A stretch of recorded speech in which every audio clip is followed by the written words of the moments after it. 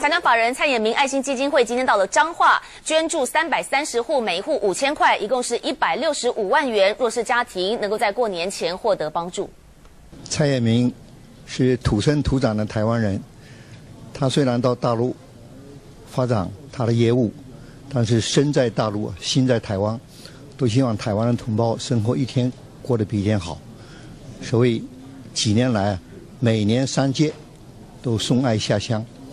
那么从最先三千块钱开始，现在每户发到五千块。呃，最主要的是使全民能够生活更美满，所以他有这个这个举动。